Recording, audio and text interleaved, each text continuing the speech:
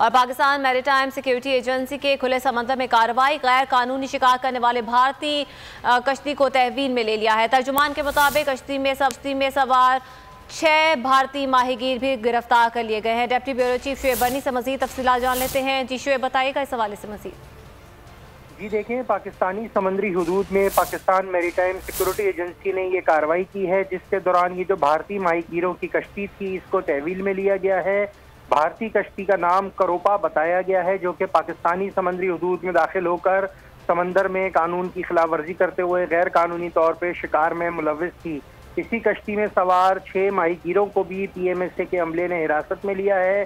जेर हिरासत अफराद से, जो कि माहीगीर हैं, उनसे मजीद कानूनी कार्रवाई की जा रही है और उन्हें पुलिस के हवाले किया जाएगा, डॉक थाने के हवाले किया जाएगा, जिसके बाद इनके खिलाफ फॉरेन एक्ट और फिशरीज एक्ट के तहत मुकदमा का इंदराज होगा।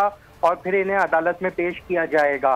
वाजे रहे ये जो कार्रवाई की गई है ये पाकिस्तान मेरीटाइम सिक्योरिटी एजेंसी ने पाकिस्तानी समंदरी हदूद में की है जहाँ से भारतीय माही गिरोह की कश्ती को तहवील में लेकर छह माही गिरोह को गिरफ़्तार अगर आपको ये वीडियो पसंद आए तो लाइक पर क्लिक करें।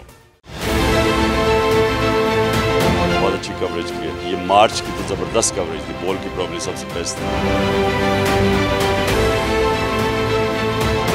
सबसे ज़्यादा रील्स और सबसे ज़्यादा रेटिंग के साथ बोल रहा नंबर वन सब्सक्राइब करें और बेल दबाएँ ताकि कोई खबर रह न जाए।